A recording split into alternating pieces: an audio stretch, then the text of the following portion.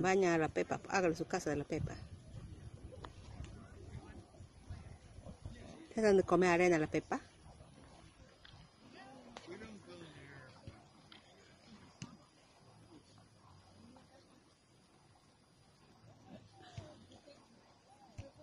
Ahí viene Recho atrás, con el abuelo.